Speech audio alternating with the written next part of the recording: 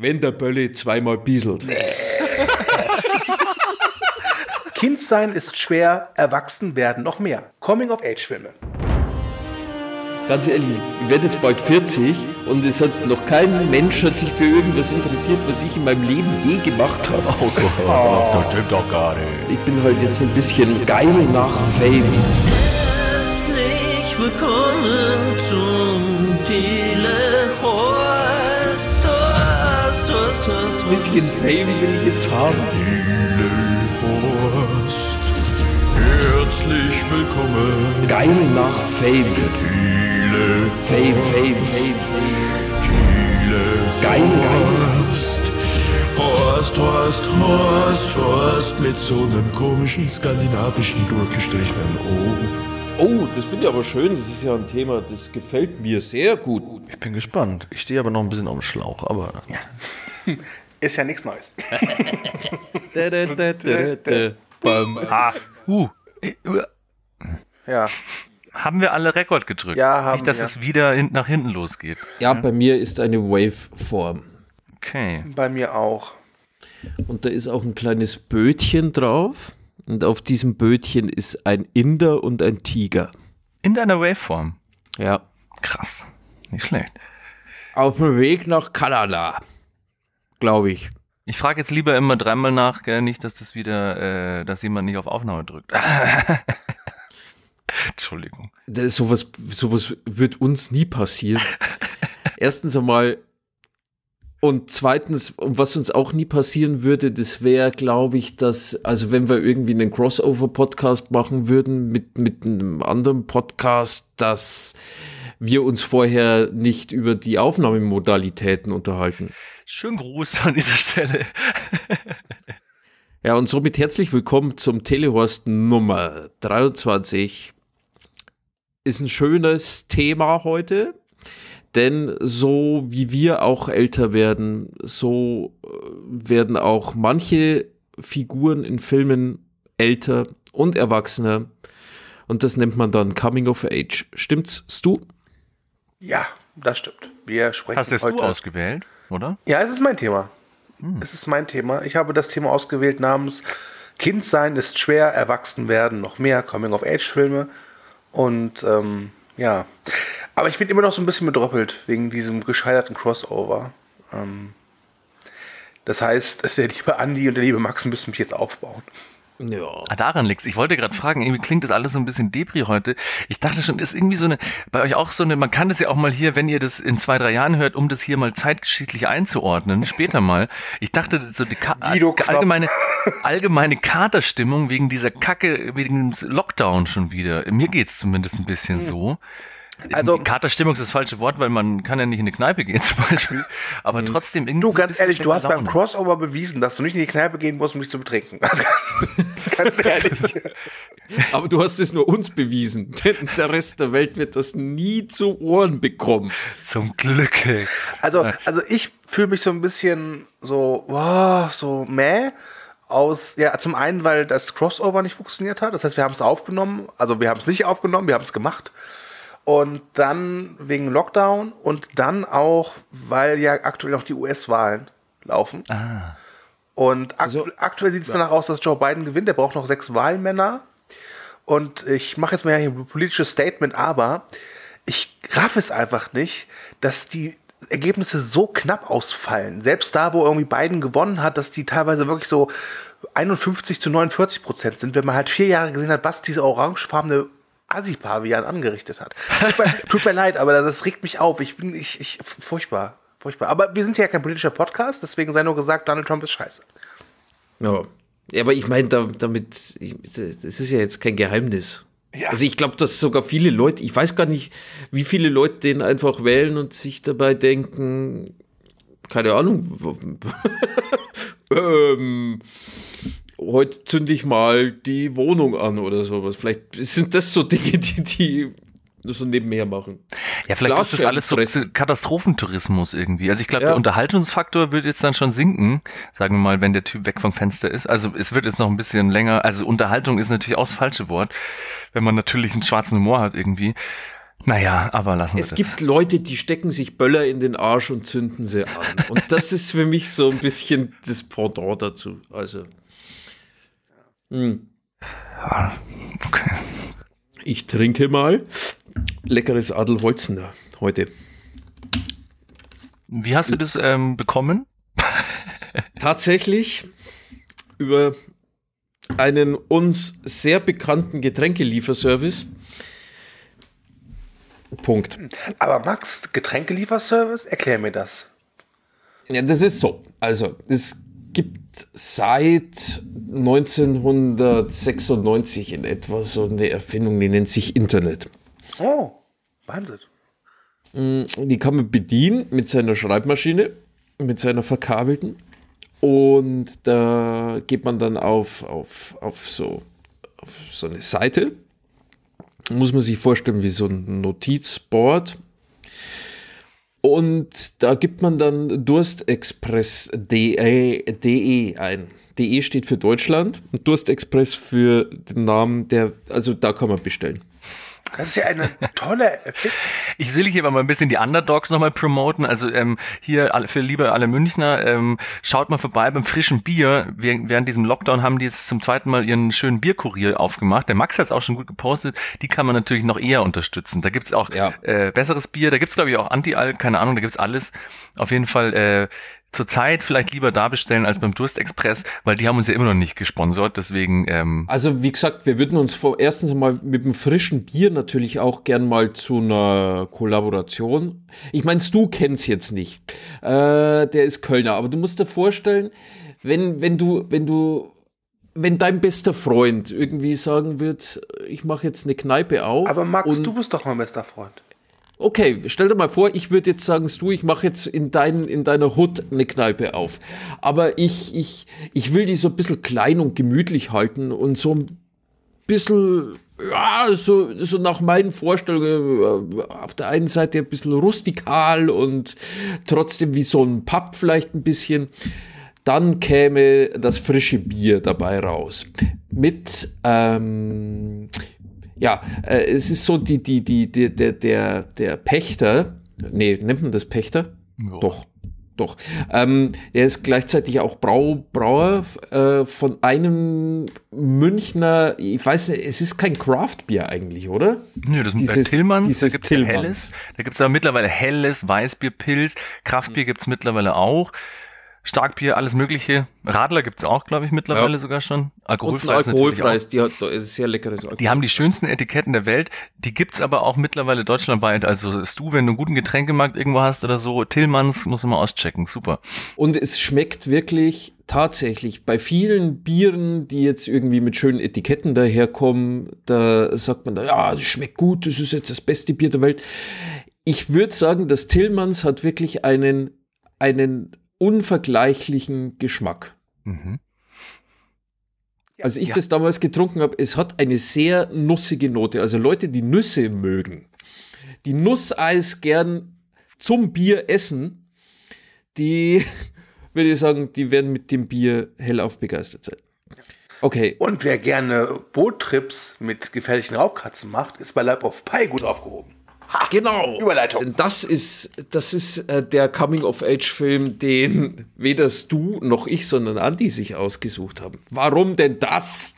Ja, das war ganz lustig. Ich hatte ja, wir haben ja ein bisschen drüber gequatscht. Ich hatte zwei andere schöne Filme, aber dann habe ich hier beim Abstauben meines Bücherregals ist mir dieses Buch aus, aus dem Regal auf den Fuß gefallen. Ich dachte mir, das wäre Schicksal. Und dann lese ich den Klappentext. Das musste ich nämlich damals in der Schule lesen. Fand es sehr gut und habe da auch einen kleinen Aufsatz drüber geschrieben und so. Und da stand hinten, glaube ich, auf dem Pla Klappentext sowas in die Richtung. Ich habe jetzt gerade nicht rumliegen, aber da stand irgendwas mit Religious Journey, Coming of Age and Adventure Story oder so. Und dann wusste ich noch, ich habe den damals im Kino gesehen. Ich hätte das anfangs jetzt auch erstmal natürlich nicht unbedingt als ersten Coming of Age Film äh, verordnet so. Aber dann dachte ich mir, ach komm, das macht Sinn. Ich habe mal Bock, den wieder zu schauen auf der Leinwand. Macht ja auch Spaß, ist ja visuell auch einigermaßen beeindruckend. Und dann habe ich den genommen, weil es mich auch interessiert hätte, äh, was ihr dazu sagt. Und wie gesagt, ich habe den vor, wann kam der raus? 2013, glaube ich, oder so. Also jetzt Mhm. auch schon sieben Jahre her. Deswegen dachte ich mir, schau ich mal wieder. Und das habe ich gemacht.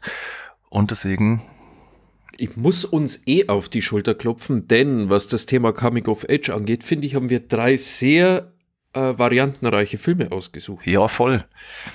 Fand Und ich sehr schön. Drei sehr gute auch noch. Ja. Ähm, denn was jetzt Andy mit, mit so eher Fantasy Coming of Age oder, oder Märchen Coming of Age äh, bezeichnen würde, hat er das überhaupt gesagt? Nee. Nö. Aber äh, Leg ihm ruhig in den Mund. so würde ich jetzt äh, Ding, ähm, gehe ich ins, ins in die 60er Jahre und mache so eher dieses Mafia Coming of Age von dem Kind, das praktisch in den Straßen der Bronx äh, groß geworden ist und Robert De Niro als Vater hat. Und ich glaube, also da ist der Coming of Age Aspekt ehrlich gesagt recht offensichtlich in dem Film. A Bronx Tale nehme ich oder habe ich mitgebracht. Ähm, ich äh, habe mich etwas entfernt von der Bronx und dem Indischen Ozean und habe mich nach Wales begeben und habe euch den wunderschönen Coming-of-Age-Film Submarine mitgebracht. Das war schön. Das hat mich sehr gefreut. Und ich hätte auch schon eine Idee für die Reihenfolge nach unserem bekannten Muster, dass wir die Geheimtipp, was ich jetzt mal für Submarine äh, stimmen würde, in die Mitte packen. Und bei dem anderen, ich weiß es nicht genau, vielleicht Also ich würde sagen, Life of Pi ist der bekannteste. Ich glaube, da müssen wir nicht drüber reden. Ähm, äh, deswegen würde ich den zum Schluss machen. Und Robert De Niros Regiedebüt in den Straßen der Bronx zu Beginn. Ja. Ich glaube auch, so ehrlich gesagt, dass Life of Pi der kontroverseste werden könnte. Ach ja? Ja, das kommt jetzt drauf an. Jetzt muss ich mich erstmal äh, äh, warm reden. Und dann, ähm, ja, fangen wir an mit, mit äh, äh, in den Straßen der Bronx. Sehr gerne.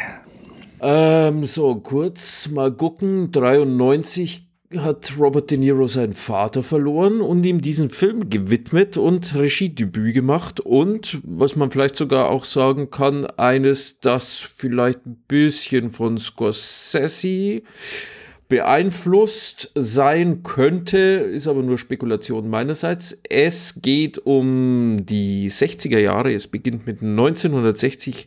Robert De Niro ist Busfahrer und nicht die Hauptperson, nein, es ist sein Sohn, der im späteren Verlauf nur noch sie genannt wird und hat den tollen Namen, jetzt hier ein Nero, Calo Calogero Agnello. Calogero. Ähm, ja, und der wird da, ja, 1960 ist er neun und wird dann im Laufe des Films 17. Und Dann ist der Film die vorbei. Zeit, ja genau, und die Zeit äh, äh, wird da schön beschrieben. Er wohnt in, äh, in der Nachbarschaft einer Mafia-Kneipe und wird da mit zunehmendem Alter immer mehr in diese Kneipe und den, äh, ja, sagen wir mal, den Boss des Viertels, Sonny, ähm, zu einer Art Ziehsohn gemacht.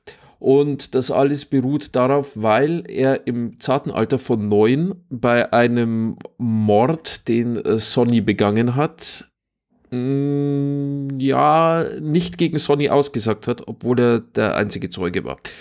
Kurz und knapp, das ist dann so eine Geschichte von einem jungen Mann, der in erster Linie halt bei der Mafia jetzt ein bisschen mitspielen darf, auf der anderen Seite aber natürlich auch pubertiert und so auch seine erste Liebe kennenlernt und so weiter und so fort. Und wir haben natürlich auch in den 60er Jahren sehr spannende Zeiten, vor allem auch was Rassenunruhen angeht und das alles äh, kommt in diesem Film vor. Und ich würde sagen, neben dem Regiedebüt von Robert De Niro sollte man auf jeden Fall auch erwähnen, dass der Hauptdarsteller, der Sonny spielt, äh, Chess Palmieri, wenn man den wirklich so ausspricht, äh, das Gesicht kennt man auf jeden Fall, der hat äh, das Drehbuch geschrieben und die Geschichte von diesem Carlocero äh, beruht auch so semi-autobiografisch auf, auf ihm als kleinen Jungen. Also, als ich mir jetzt nochmal angeguckt habe, den Film, ähm, ist mir aufgefallen, man kann ihn wirklich so in zwei Teile spalten, wenn man so will. Das erste ist so, erinnert stark an das, den Anfang von Godfellas, wo ja auch dieser Henry Hill durch diese äh, Arbeit in diesem Café oder Bistro halt auch so in die Mafia gerät. Und die zweite Hälfte, wenn der Caloccio dann 17 ist, ist der dann fast schon so eine Art modernes oder, na modernes, aber Romeo und Julia Variante. Ja. Ne? Denn also das Mädel, in das er sich verliebt, ist eine Afroamerikanerin. Genau. Und die sind mit ihrem Viertel mehr oder weniger am anderen Ende der Straße. Und ja, da kommt es halt mit den Italo-Americans immer wieder mal zu Re- Reibereien und vor allem natürlich unter den Jugendlichen, denn ist halt so, waren die damaligen Zeiten. Was man aber dazu sagen sollte, man sollte nicht erwarten, dass es jetzt so ein richtig klassischer Gangsterfilm ist. Also er hat schon diese typischen Mafia-Tropen, äh, die sind vorhanden, aber es ist wirklich ein Coming-of-Age-Film. Also der Film ist sehr fokussiert auf diesen C, also den Calogero und seine Wandlung. Und äh, das machen die beiden Darsteller auch ganz gut. Also er wird einmal gespielt, ist er 9 und einmal ist er halt 17. Ähm, wirklich tolle Leistung. Und was ich auch toll finde, De Niro hat ja damit seine Regiedebüt gegeben und der spielt den Vater von Calogero und ich finde, dass De Niro sich hier wirklich zurücknimmt. Also es ist, jetzt, es ist jetzt keine äh, Robert De Niro Show. Nee. Und hätte es aber werden können, weil ich glaube, da war De Niro äh, schon äh, groß, äh, groß angesagt. Aber Und, ist ja, ist und ja, Joe Pesci hat eine ganz tolle Nebenrolle. Hat einen ganz tollen Auftritt. Ja. ich habe Das fand ich Ende auch schön, dass der gefragt- Robert, De Niro, Entschuldigung, äh, das, ich war jetzt auch gerade ein bisschen abgelenkt, weil äh, Trivia Man hat wieder zugeschlagen. Ich habe gerade nochmal geschaut. Hier dieser Chess Palminteri äh, hat es ja als, ähm, wie sagt man, Theaterstück. Theaterstück, also hier steht Autobiographical One-Man-Show irgendwie geschrieben, dann wurde der Film gemacht und dann war es irgendwann noch ein Broadway- Broad- Broadway-Musical. Das würde ich ja gerne mal sehen. Das klingt ganz interessant. Nee, aber, ich, glaube, fand, das kannst du aus dem Film machen. Tatsächlich. ja, ich mag diesen Typen auch gerne. Ich kenne ihn noch aus äh, die üblichen Verdächtigen spielt er mit, gell? Genau, das ist der Cop, der sich von Kevin Spacey zudulden lässt. Ja, das ist ein geiler Typ, ey. Aber was ich mochte bei Robert De Niro, dass er ja hier halt auch mal, ähm, nachdem er jetzt ja bei Scorsese und äh, auch bei der Pate und so halt immer eigentlich den Mafia-Typen gespielt hat, jetzt mal so der Anti-Mafia-Typ ist, der immer äh, den Jungen vor der Mafia schützen will und dieser liebende großherzige, gutherzige äh, Vater ist und ich fand das auch, also Robert De Niro, der kann einfach alles, hey. Super. Ich finde aber, der, die Rolle und auch der Film passt zu ihm irgendwie echt wie Faust aufs Auge. Also, ich finde, wenn es den Regiedebüt für Robert De Niro dir vorstellen müsstest, wenn es noch keins gegeben hätte, dann wäre das tatsächlich für mich so ein Film. Und ich finde, dass dieser Calogero, und ich glaube, die haben dafür auch große Preise bekommen, ähm, super gecastet ist. Ja, beide. Ich mochte den Kleinen, den kannte ich auch irgendwoher, ich glaube aus Free Willy oder so, ich weiß nicht mehr genau. Aber das fand ich ganz lustig bei dem Großen, den, Als Willi, ja. den, den kannte ich jetzt nicht, aber ich fand es super, weil irgendwie so von der, äh, vom Gesicht und so, der hätte halt auch, der kann, könnte auch wirklich äh, De Niros Sohn sein, finde ich.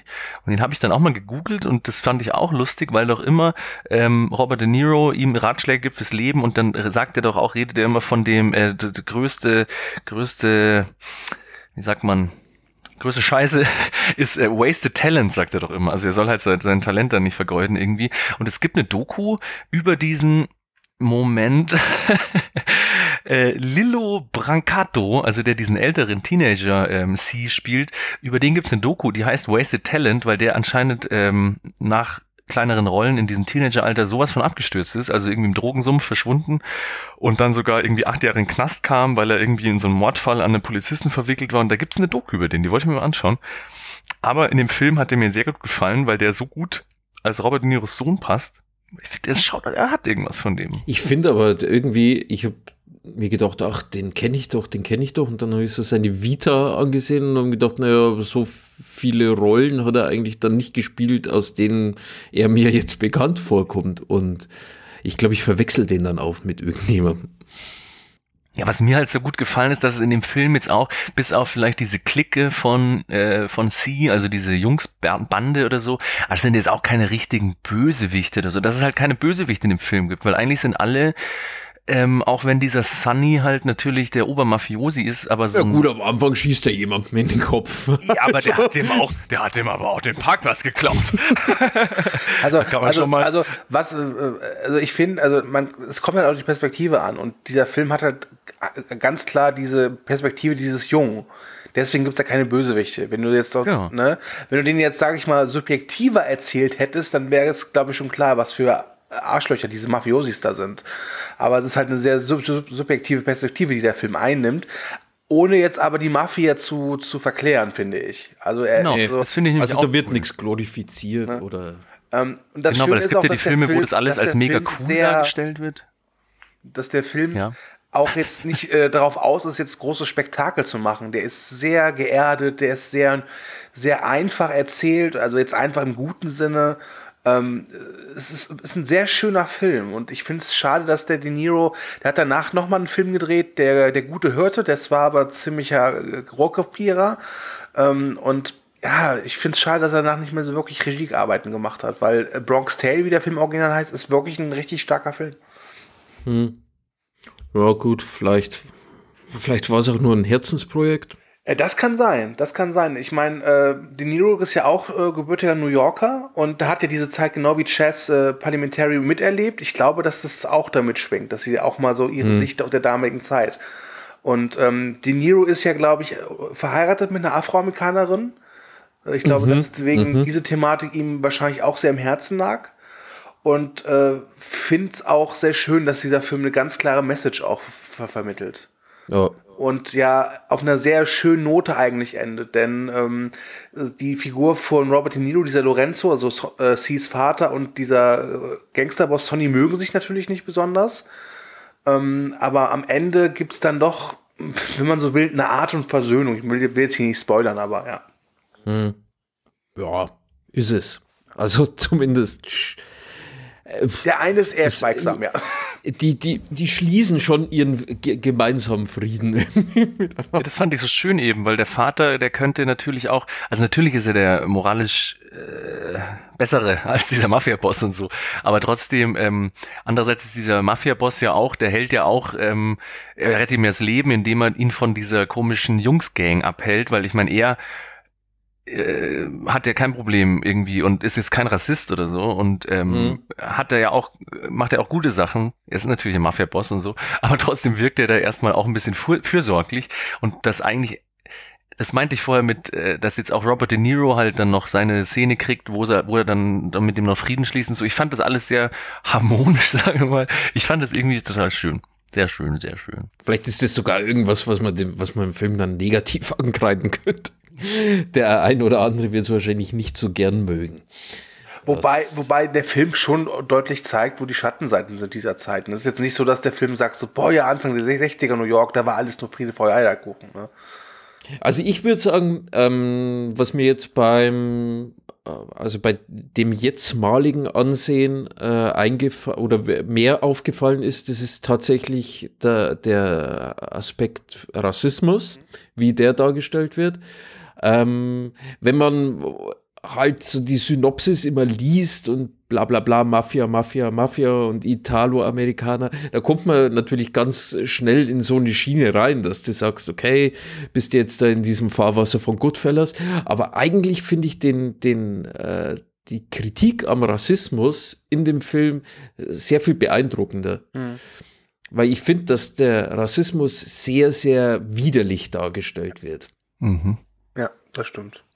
Weil er wird ja eigentlich nur von den, von den Heranwachsenden eigentlich. Also, Also, ja, okay, die Erwachsenen haben auch schon, da gibt es, glaube ich, auch schon mal so ein paar. ja, ja, Ne? aber die, die Ähm. treibenden Kräfte, also die, die Wütenden sind die, die, die Kids. Ja, die Kids, die es halt von ihren Eltern vorgelebt bekommen, ne? Genau.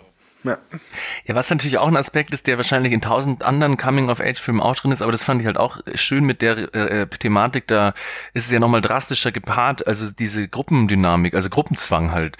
Ich fand es natürlich, äh, das ist natürlich das, was wir vorher schon gesagt haben, man könnte es als Kritikpunkt sehen, dass da alles so, alle sind so gut und so und der Hauptcharakter, dass er jetzt genau der einzige von dieser Gruppe ist, der, der nicht rassistisch ist und so ungefähr. Das hätte man natürlich noch ein bisschen spannender machen können, dass er eigentlich schon latent rassistisch ist und sich trotzdem dann die verliebt und das dann so ein bisschen schwieriger wird. Aber er ist ja von Anfang an der, der Beste dieser Gruppe und er sagt ja immer, hey, was habt ihr denn gegen die und so. Also vielleicht hätte man das noch ein bisschen differenzierter machen können. Nee, nee, aber trotzdem, das mit dieser, ähm, mit diesem Gruppenzwang und dieser Gruppendynamik, dass er dann trotzdem in diese Schlägerei verwickelt wird, obwohl er nicht will, das ist natürlich immer spannend bei solchen Filmen. Dass er sich dann nicht von seinen Freunden entziehen kann, obwohl er gar nicht mitgehen will, aber trotzdem mit im Auto sitzt und nur durch Zufall dann aus diesem schlimmen Szenario am Schluss dann noch rausstolpert. Das ist schon immer krass, finde ich. Also sagen wir es mal so, in anderen Filmen wäre er wahrscheinlich derjenige gewesen, der Einzige, der stirbt oder so. Oder, aber ich finde ich finde eben diesen Aspekt äh, sehr glaubwürdig, weil äh, Carl Logero ja derjenige ist, der mehr oder weniger zwei Erwachsene hat, die sich wirklich um ihn sorgen und kümmern. Und ähm, da verwundert es mich dann nicht, dass er eigentlich der einzig Reflektierte ist, wenn man so die, die anderen Idioten ansieht, mit denen er da auf der Straße rum. Ich, er tut halt manchmal so, als würde er sich für genau deren Sachen interessieren. Aber eigentlich ist er schon von der Erwachsenheit her eine Stufe drüber. Als die Naja, schon. Nee, Ich hätte es vielleicht nur spannend gefunden, wenn jetzt vielleicht nicht ähm, alle von diesen Jugendlichen die idiotischen rassistischen Bösewichte gewesen wären und er halt der einzige Strahlemann ist so ungefähr. Hm. Ja, Aber vielleicht das ist für Da sieht man halt eben, dass es, wie gesagt, komplett aus der Sicht des Jungen erzählt Naja. ist. Ne? Hm. Nee, aber das ist auch kein Ich Kritikpunkt. meine, wenn ich mal ein Biopic äh, von von mir mache, dann würde ich gar nicht wissen, wie ihr beide dargestellt werdet. Ich wäre gern ein Hund. Einer, der sich immer am Tischbein reibt. Nein, das finde ich eigentlich cool, weil irgendwie, wenn ich jetzt so an den Film denke, dachte ich auch irgendwie erstmal so, könnte man so zusammenfassen, es ist so eine Coming-of-Age-Kinderfilm-Variante von Der Pate und Goodfellas oder so. Aber trotzdem ist er ja eben durch diese Thematiken und ist er trotzdem jetzt kein Kinderfilm. Hm. Aber er ist halt schon, es ist schon ein schöner Wohlfühlfilm, kann ich schon fast sagen, obwohl es eben diese düsteren Themen natürlich gibt. Ich weiß gar nicht, wie ich es beschreiben soll. Aber ich fand den Film einfach nur, äh, Äh, Das ist wie so, wie so, eine, wie so eine Geschichte. Also Das ist einfach wieder so ein, einfach nur ein, ja, a Bronx Tale. Das ist einfach ein, er zeigt halt, dass es selbst in den schlimmsten äh, Krisenherden immer noch so was wie Hoffnung gibt. Wenn man so will. Mhm. Ne? Also ich würde jetzt nicht als Feel-Good-Movie bezeichnen. nee, nee. Aber ja, es ist schon, also, wir haben ja von vorher gemeint, wenn das ein Theaterstück oder ein Musical oder so, es ist schon so ein, so ein klassisches Märchen, also wir nicht, weiß schon, Märchen in die Realität ich weiß verpflanzt nicht, halt West Side. Story funktioniert doch so ähnlich, oder? ja, ja. Bestimmt, ja, irgendwie genau so und dann eben diese Romeo und Julia Love Story noch, er darf nicht, aber er, er hat sich verliebt in eine, die er nicht lieben darf und so. Das sind schon so märchenhafte oder wie, wie nennt man das? Ja, Stories halt. Ja, ja. Aber es ist halt einfach super klasse inszeniert und umgesetzt. Deswegen, das ist alles keine Kritik. Ich finde den wunderschönen Film und das ist einfach, wenn, allein der Film, der Name A Bronx Tale, das klingt ja schon so danach.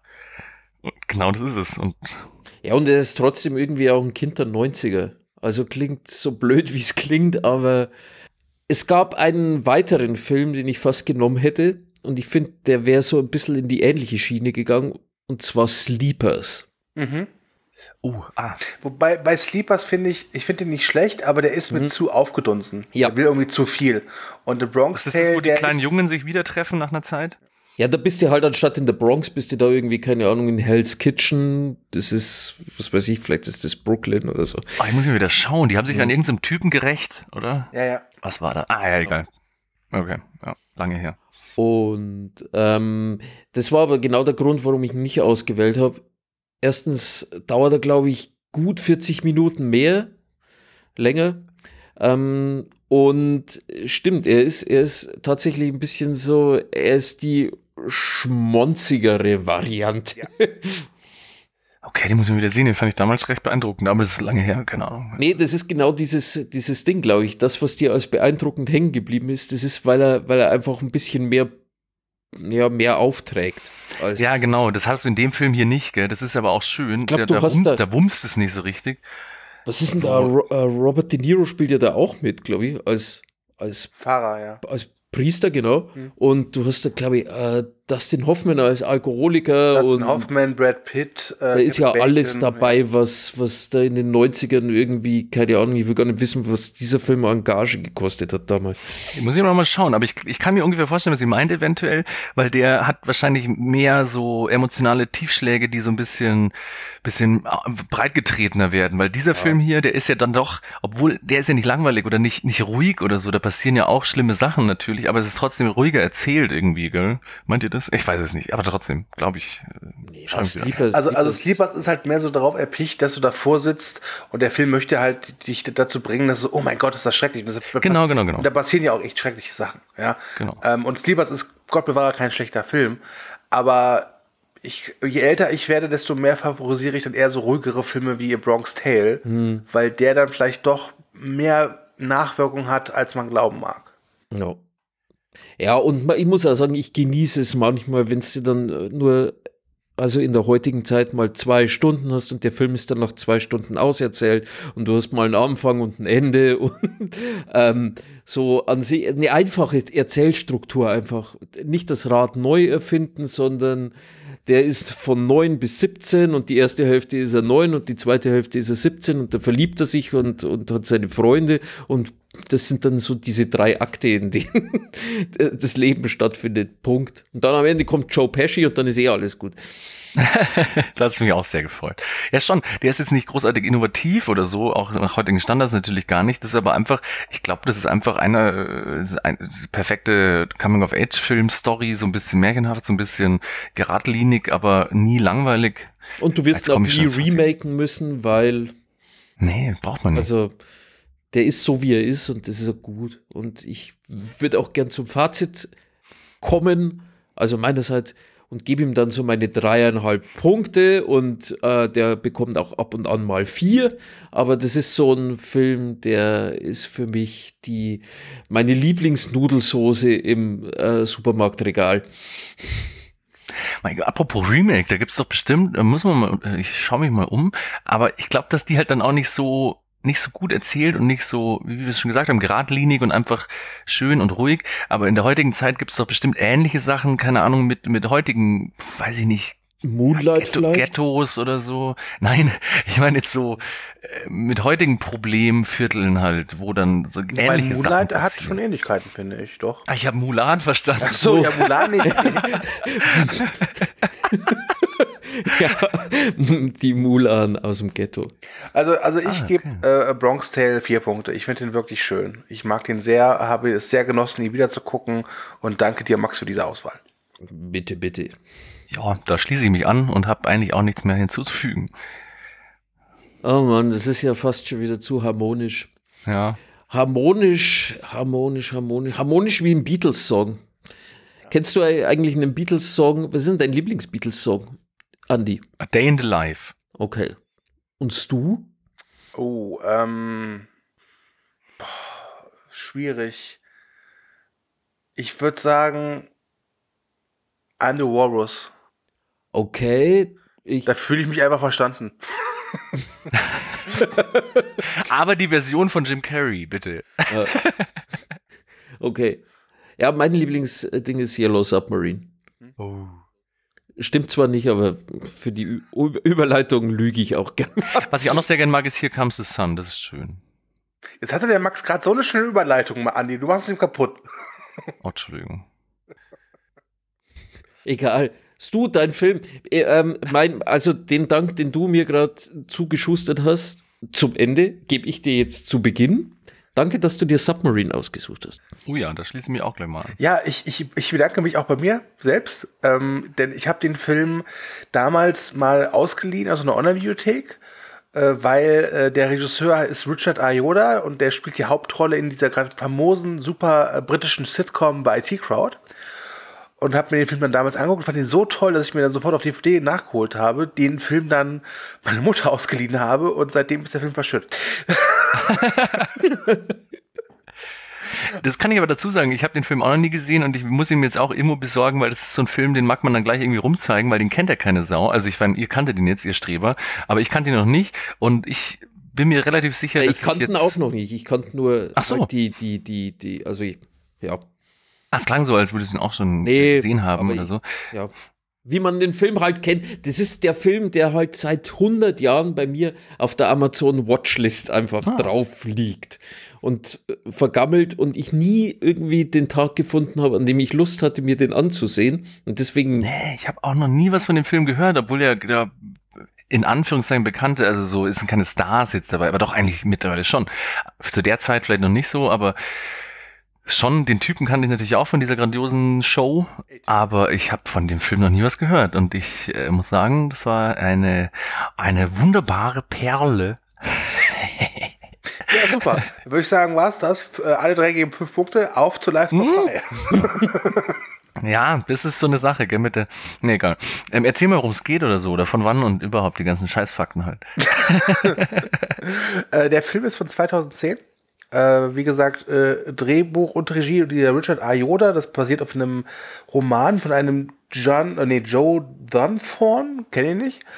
Und ja, worum geht's? Es geht um den 15-jährigen Oliver Tate, der sich selbst gerne so sehen würde wie ein Genie, aber eigentlich nur einfach ein unangepasster Teenager ist. Und der sich halt in seine Klassenkameradin Jordana verliebt. Und ja, dann gibt's halt noch Probleme bei Oliver zu Hause, denn seine beiden Eltern sind in einer Ehekrise und Jordanas Mutter hat einen Gehirntumor und er versucht damit irgendwie umzugehen und ähm, ja, es ist, es fällt schwer, den Film wirklich so komplett zu beschreiben, weil es passiert relativ viel, würde ich sagen. Mhm. Es geht, also ich würde sagen, es geht wirklich ums Erwachsenwerden.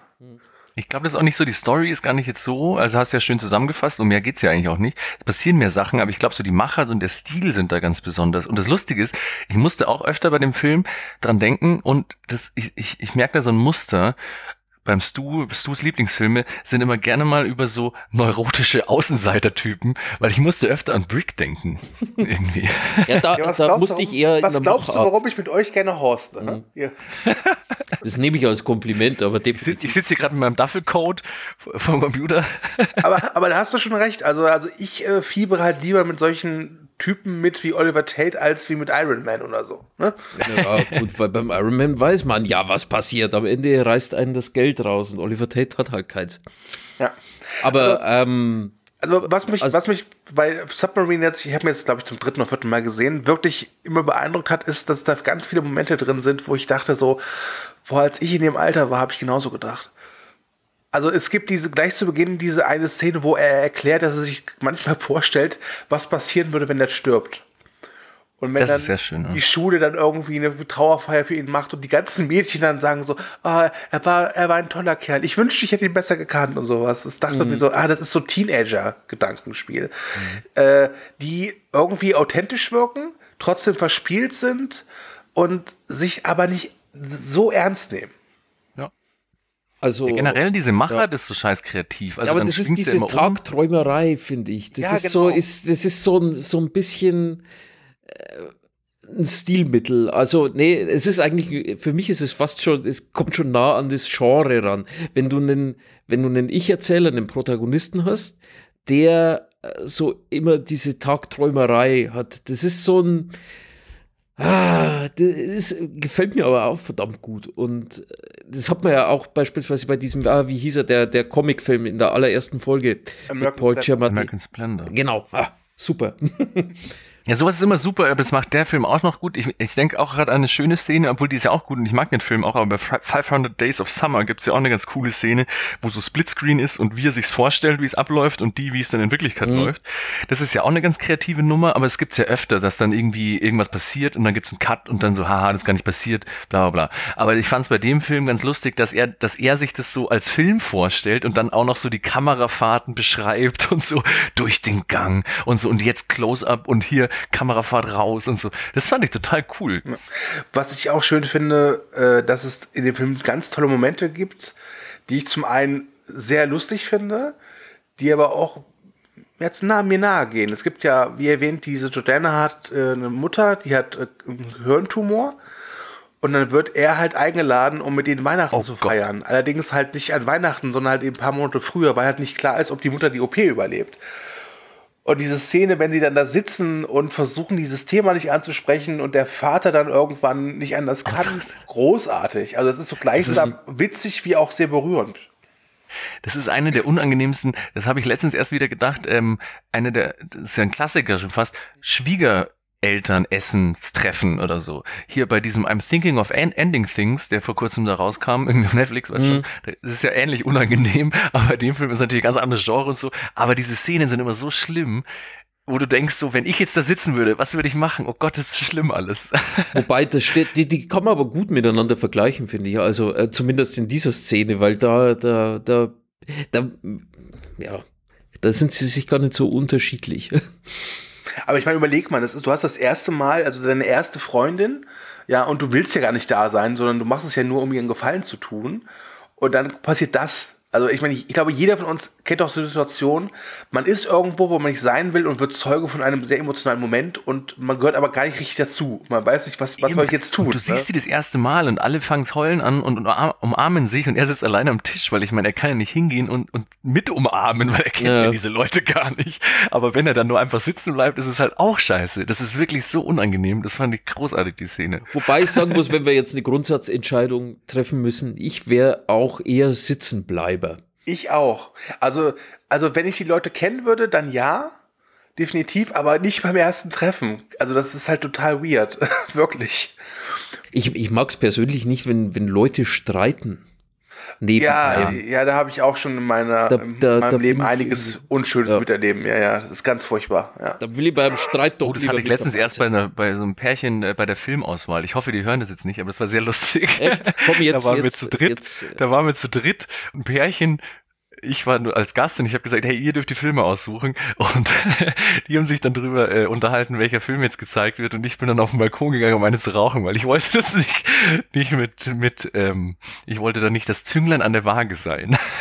Egal, weiter will ich da nicht drauf eingehen, das war auf jeden Fall auch sehr unangenehm.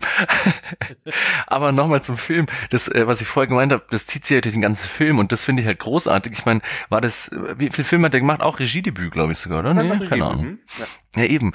Aber ich finde den Film auch für das, der sieht ja nicht High-End aus, der sieht ja das wie, wie zu diesem Setting passend so äh, nicht nicht äh, pompös oder sonst was, aber so Kleinigkeiten, diese Kapiteleinblendungen oder diese diese Farbausblendungen, wo es dann immer so grellrot oder grellblau wird und solche Sachen und dann auch diese Szenen, wo sie durch die Nacht laufen mit dem Feuerwerk und so, das sind so schöne Szenen Aber drin. der ist schön designt. Genau, genau, genau. Ähm, Und auch, das sollte erwähnt werden, ähm, toller Soundtrack von Alex Turner, dem Frontmann der Arctic ja. Monkeys. Toll, einfach toll. Ja, das wenn passt. man die der, der Arctic Film, Monkeys mag, natürlich. Also ich mag die damaligen Arctic Monkeys. das ist so ein typisch, also es ist ja, was, Wales hast du vorher gesagt, gell? Wales, hm?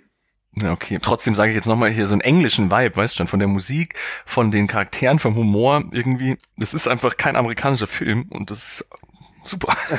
Keine Ja, das stimmt. Alleine halt, wie, wie, wie die Häuser aussehen und so. Und äh, ganz ehrlich, ich meine, es gibt ja auch Szenen, die am Strand spielen. Dieser Strand ist halt so eigentlich unromantisch, weil er halt nur graubraun und nass ist. Ne? Industriegebiete bei Nacht. Ja. Und, ach ja, und die Kinder, wie die alle aussehen. Ja. Das Ja. ist es halt. Also da muss ich sagen, sorry, wenn ich jetzt echt so ein bisschen. Oh, wir müssen eine eigene Rubrik aufmachen, die heißt ähm, Der Horst bedient Klischees. Folge 1. Kinder. Folge 1. Kinder aus Großbritannien, die allesamt so unglaublich bleiche Gesichter haben, unglaublich unförmige Zähne Ui. und so, so ein bisschen aussehen wie die Sex Pistols. Wobei, das hat mir immer gut gefallen bei dem Film, dass jetzt sein, seine Freundin, die Jordana, halt auch nicht aussieht wie ein Püppchen. Er sagt ja auch selbst, ja, sie hat hier so ein paar äh, Probleme mit der Haut und so. Und sie ist halt nicht die, sie ist halt nicht so, so ein Barbie-Püppchen. Also, das, das finde ich hingegen ganz schön. Ja, aber der, der Freund, den sie dann hat mit dem langen der, Hals der, der Giraffenhals, ja, ja. und ähm, vor allem dieser, dieser Bully-Freund von ihm, Chips, mit ja. dem er die ganze Zeit rumläuft. Also das sind halt so Typen, so stelle ich es mir, äh, so stelle ich mir vor, schauen englische Mallorca-Touristen vor 20 Jahren aus. so sind die damals auf die Schule. Aber ganz gegangen. ehrlich, wa- was ja auch krass ist, wie der Vater von ihm aussieht, ne? Dieser Lloyd, dieser Meeresbiologe, der depressiv ist. Ja, ja. Das ist so diese, diese. Ey, das finde ich eh super. Also Sally Hawkins will ich viel öfter sehen. Ich hatte die gar nicht so richtig auf dem Schirm. Ich glaube, ich habe die, also ich meine, Chef of Water war sie natürlich dabei und das war, glaube ich, auch das Highlight am Film. Aber trotzdem, die mag ich ja so gerne. Und in dem Film, also wenn wir schon beim Cast sind, ich, der Vater, den kannte ich halt, glaube ich, auch nur aus Game of Thrones und noch zwei andere Filme oder so. Aber die waren ja alle so großartig. Und der Nachbar, alter Schwede. Dieser, äh, Okay, jetzt kommen wir Graham. auf den Nachbar zu sprechen. Du meinst Prisma. Ähm, ihr Paddy meintet, ihr, Considine. ihr, ihr kennt ihn? aus Hot Fuzz. Paddy Considine oder so, der hat Ja. diverse. Was? Das ist der? Ja, Ja, eine von den der, Brillen. Regisseur, der Regisseur von Tyrannosaurus ist das, ja. Okay, sorry. Dann muss ich jetzt hiermit echt. Oh, sorry. Ja, ist ja wurscht, aber Habe trotzdem. hab ich ey, den Alter, nicht erkannt? Scheint so. Ich habe auch lange überlegt, mir kam es dann, aber ich dachte auch, ich kenne den aus irgendwas Bekannterem, aber mir ist dann nur Hot Fuzz eingefallen. Hat, hat der bei ja, den Film. tatsächlich Liebe auch mitgespielt? Nee. Ich glaube nicht, nee, der war bei den Bourne-Filmen halt dabei und bei Okay, OA, ja. ich weiß gar nicht, also der, hat- der, der hat echt viele Filme hat der mitgemacht, sehr, sehr viele Filme. Ähm, aber Hot Fuzz ist natürlich bekannt. Äh, Dead Man's Shoes ist noch einigermaßen. Mhm. Ähm, Ja, ich, nee, ich, ich sehe es gerade, der ist da durchaus, ja, der ist mir schon öfter auch über den Weg gelaufen. Und äh, Tyrannosaurus Saul, Saul, den mag ich natürlich ja sehr gern. Ja, obwohl das alles halt, wie gesagt, äh, Nebenrollen sind, weil es geht ja wirklich um die Jugendlichen. Ich fand die alle so großartig, wie die eingeführt werden. Und das hast du vorher schon mit dem Hautausschlag von der, Einf äh, von der Freundin dann irgendwie erzählt. Ich mochte diesen, äh, wie nennt man das nochmal? Also den Erzähler halt, also ihn, hier, wie Oliver heißt er nochmal? Oli- Oliver, seinen inneren Monolog halt irgendwie, weil der so lustig, der war so, der ist ja auch nicht wirklich sympathisch. Der Typ ist eigentlich ein Freak halt, wie, wie Brick halt auch irgendwie, bei Brick meine ich jetzt. Also weil der so, so, so altklug teilweise wirkt, aber so analytisch und zynisch und irgendwie so fies teilweise, aber doch irgendwie nett und naiv und so. Und das war immer so mega witzig. Und auch die Geschichten, ich habe mir so ein paar Zitate versucht zu merken. Ey, ich, da, wo zum Beispiel die Mutter beschrieben wird, da kann ich mich noch dran erinnern, das ist so geil. Eigentlich wollte sie Schauspielerin werden, bis sie ein Logopäde gesagt hat, dass ihre Zunge zu groß für ihren Mund ist. Lauter so Scheiß die ganze Zeit. Hey, das sind so Kleinigkeiten, ich fand das immer so lustig. wäre mein Vater eine Farbe, wäre er die Farbe beige oder wie war das? Ja. Solche Sachen, solche Sachen, Also ja, die genau, ich so es sind so, so, Kleinigkeiten, zum Beispiel auch wenn er halt von seiner Mutter erzählt und dann sagt, ja, sie arbeitet jetzt im Bürgeramt, im, im Büro und dann, dann so nebenbei erwähnt, ja, und das ist so eine Art von Arbeit, da muss man, wenn man Geburtstag hat, den Kuchen selbst mitbringen und da siehst du halt, wie der kommt und diesen winzig kleinen Kuchen, wo der übergeht vor, vor lauter Kerzen. Großartig. ja. Sag mal, ja, genau, das so welches ganz Jahr kleine eigentlich? über. Oh, Entschuldigung. Äh, das, das wird nicht erwähnt. Äh, ich, äh, ich hatte es so verstanden, Wenn dass ihr Schub tippen müsstet, da, ganz ehrlich, ähm, ah, Anfang Ich hatte so das Gefühl, dass er so ein bisschen was Zeitloses hat. Mhm. Weil sie gehen ja ins Kino und gucken dann so alte Sachen und so wie Crocodile, Crocodile Dundee Dundee und so. läuft anscheinend im Kino. Ähm, als der Film gedreht wurde, gab es auch schon sowas wie Handys. Ich habe da aber jetzt nicht wirklich Handys gesehen. Andererseits muss man sagen, in der Schule in Großbritannien weht ja auch ein anderer Wind. Mhm. Ähm, deswegen finde ich es schwer, den jetzt zeitlich zu verorten. Ich hätte gesagt Anfang 90er, meine ich. Nicht Anfang 80er, habe ich gerade gesagt. Aber man, muss, man kann mal schauen, wann das Buch rauskam und so. Und der, man hat der Typ wahrscheinlich auch über seine Jugend geschrieben nochmal und so. Also, keine Ahnung. Ja. Da ist, äh, da habe ich nämlich Also keine das Buch- richtige Antwort. Das Buch kam 2008. Oh Gott, ne, das Okay, aber wie gesagt, ich denke mal, dass der Typ, äh, jetzt ist es natürlich nicht autobiografisch oder so, aber ich denke, wenn man so eine Geschichte schreibt, schreibt man auch so über seine Erfahrungen so ein bisschen vielleicht. Ich hätte jetzt gesagt Anfang 90er, weil der Typ mit seiner Trainingsjacke, der, ich weiß nicht. Naja, naja, ich weiß Nee, also der Duffelcoat, der sah schon gar nicht so schlecht aus, den also der äh, Oliver da trug. Das äh, wirkte auf mich jetzt nicht unbedingt so 80er, das wirkte schon fast so End 90er. kann auch sein. Ich muss Ah, aber nee, nee, ehrlich aber sagen, es war mir auch relativ egal, wann er spielt. Ja, das schon, aber man macht sich doch dann irgendwie so ein bisschen, ich weiß nicht, keine Ahnung, ich schaue dann immer so auf, auf, auf Einrichtungsgegenstände und ja, mich interessiert Set-Design schon ein bisschen, so ein kleines bisschen und dann, dann äh, ja, wenn man sich dann die Frage stellt, was, was könnte es jetzt für ein Jahr sein und man kann es nicht beantworten, dann muss ich immer weinen. Ähm, jetzt haben wir ja gesagt, dass der sehr lustig ist. Ich finde, der hat aber auch was sehr Melancholisches, was schwärmerisch-melancholisches. Weil ja die meisten Leute, die da wirklich zur Geltung kommen, irgendwie halt ihre Probleme haben. Also Jordana hat halt eben ihre Mutter, die einen Gehirntumor hat. Äh, Oliver Tate weiß so nicht, wo er richtig hingehört. Die Eltern von ihm haben eine Ehekrise. Der Vater ist sehr wahrscheinlich sehr depressiv. Und ich finde, dass der Film es zeitgleich schafft, diese Themen auf die leichte Schulter zu nehmen, aber die trotzdem ernst zu nehmen. Ja, der hat schon auch so eine melancholische Grundstimmung. Es ist nie, es ist schon sehr lustig teilweise, vor allem durch den Nachbarn teilweise. Das ist ja schon sehr comedy-mäßig mit seiner Frisur und seinem komischen esoterischen Quatsch da irgendwie. Das sind schon die lustigeren Szenen, aber es stimmt schon. Also auch diese, Ehekrise, sagen wir mal. Das ist, ist nicht so lustig, aber doch immer eigentlich. Also es ist nie, nie krass ernst, dass du heulen musst oder so, keine Ahnung. Also was- aber es ist schon. Welche Szene ich zum Beispiel echt heftig, also in Anführungszeichen heftig fand, ist gegen Ende, wenn der Oliver mit seinem Vater da sitzt und sie beide trinken halt heiße Zitrone. Ja. Wir wissen ja, dass das das Depressionsgetränk Nummer eins ist. Und er fragt seinen Vater halt, seit wann er so traurig ist. Und sein Vater sagt ihm halt so ohne große Umschiffe, ja, so als ich in deinem Alter war, hat's angefangen. Hm. Und ich finde, Ich da aber trotzdem, dass die beiden sich immer auf Augenhöhe Ja, klar, unterhalten haben. Das fand, ich, ja, ja. das fand ich sehr eigenartig, weil äh, der Film das gar nicht so wirklich, wie sagt man, also es sah nicht so aus, als würde er darauf hinauslaufen, dass, dass, dass er ausgerechnet mit dem Vater so auf Augenhöhe sprechen kann. Vielleicht, weil er dem Vater ähnlich ist als seiner Mutter. Ja. das war eh eine ganz komische Beziehung zwischen den ganzen Leuten und das ist natürlich auch jetzt, Mai, ob das jetzt realistisch ist, der Typ ist natürlich schon ein schrulliger Typ, wie er dann auch Briefe den Eltern hin und her schreibt und auch wie er mit seinen Eltern redet, so, das fand ich teilweise ist das schon ein bisschen drüber. Also wo er dann zum Beispiel irgendwie ähm, seiner Mutter sagt, sie soll jetzt mal wieder mit dem Vater schlafen, weil er findet dich immer noch attraktiv, aber oder irgendwie sagt er auch mal so, du schaust heute gut aus. Und dann so, ja, danke für dein Alter oder so, keine Ahnung. Das sind so Dialoge, das ist irgendwie, es ist schon ein seltsames Verhältnis zwischen diesen ganzen Leuten. Mhm. Und das Lustige ist ja auch, dass dieser Vater so lethargisch ist, das ist ja auch eine großartige Szene, wo es heißt so, hey, wenn die den jetzt verlassen würde, würde er ihr noch beim Kofferpacken helfen oder so. Und dann wird Mhm. das auch kurz gezeigt. Das sind so Sachen. Es ist irgendwie so ein bisschen traurig, aber es ist immer mit so einer, mit so einer komödiantischen Szene noch erklärt, dass man, dass es irgendwie schon eigentlich meistens witzig ist irgendwie. Jetzt, was ich mir, äh, eine Frage, die ich mir stelle, ist, ich finde, dass er und die Jordana beide immer so gespielt haben, als würden sie die vierte Wand durchbrechen, als würden sie praktisch wirklich mit mir persönlich gerade Kontakt aufnehmen in ihrem Spiel. Und das machen sie aber nicht wirklich, oder?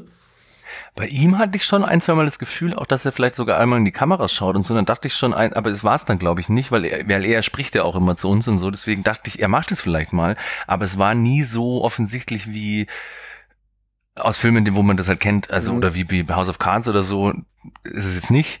Aber bei der Jordana wüsste ich jetzt nicht. Nee, nicht ich, fa ich fand mich von beiden immer äh, relativ gut angesprochen. Also, Es gibt nur so Szenen auch, wo, wo er einen Brief von ihr kriegt, dann liest er den ja, aber man sieht sie, wie sie den in die Kamera spricht und so, da gibt schon so Szenen. Aber mm, vierte Wand durchbrechen hatte ich gar nicht das Gefühl so richtig. Aber ich,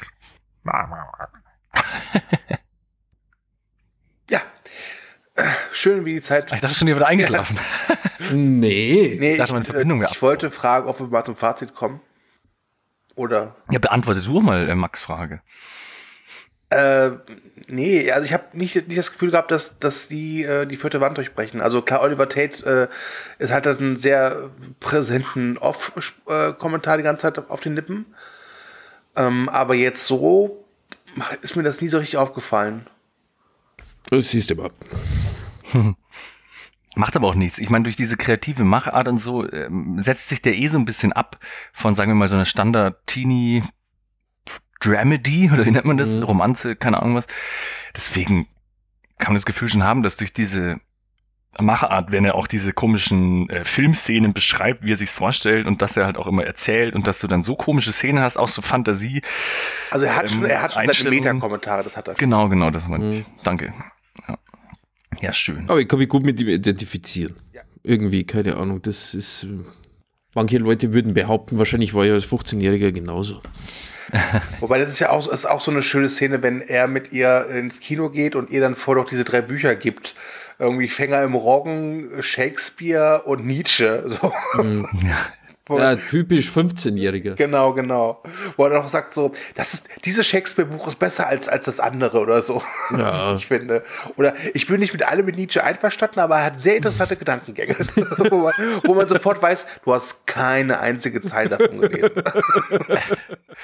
Ja, das fand ich halt eben, da musste ich öfter an Brick denken, weil das so unrealistische Dialoge sind für dieses Setting und für diese Leute auch. Also ich meine, was heißt unrealistisch? Irgendwie kommt, kam mir dann teilweise, als wäre der auch so halb autistisch oder so, weil so in, in dem Alter und in dem in der Situation oder so wäre man dann nicht so offen oder nicht so ehrlich irgendwie auch wo er dann sagt so hey Donnerstag sind meine Eltern nicht da willst du vorbeikommen zum Bumsen so ungefähr mehr oder weniger das ist alles so ein bisschen komisch aber es ist mega witzig Der alte Romantiker. passt gut Ja. Ja. Gut, aber jetzt Fazit.